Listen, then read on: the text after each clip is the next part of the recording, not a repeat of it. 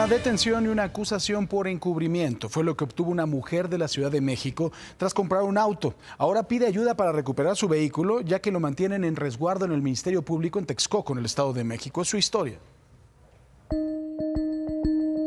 Comprar un auto nuevo de agencia se pensaba que era lo más seguro del país.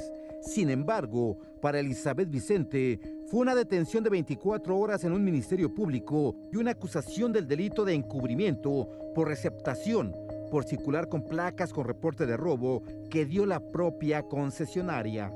Me detienen unos, unos policías del estatal, se alinean, yo venía manejando mi vehículo, se, se detienen a la, a la altura y me dicen que me enseñan por medio de su celular su aplicación que ellos tienen un reporte de robo de ese vehículo.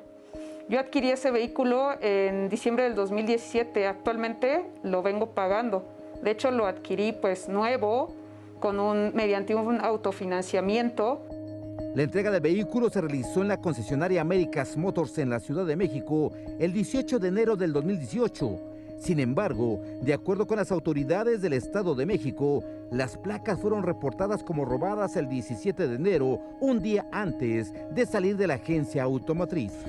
Aunque ellos tramitaron las placas, ellos no quieren tener responsabilidad. O sea, ellos nada más me dicen, pues dime cómo te puedo servir, porque pues sí, pero el vehículo ya salió, no es un tema mecánico, es un tema pues no, no te podríamos ayudar así como pues a decirte quién, quién tramitó las placas, o sea, la persona, su gestor, no sé, alguien. Actualmente el vehículo se encuentra resguardado en la agencia del Ministerio Público en el municipio de Texcoco, donde le piden de 12 a 20 mil pesos a los funcionarios de la Fiscalía General de Justicia del Estado de México para ayudarle a liberar su auto.